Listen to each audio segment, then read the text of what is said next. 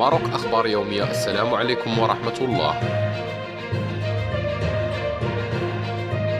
كشفت سمية بن كيران نجلة رئيس الحكومة السابق أن فيروس كورونا تسلل إلى بيت الأمين العام السابق لحزب العدالة والتنمية وقالت ابنة بن كيران في تدوينة على حسابها بموقع الفيسبوك جوابا على العديد من الاتصالات والأسئلة التي تريدني بشكل مستمر.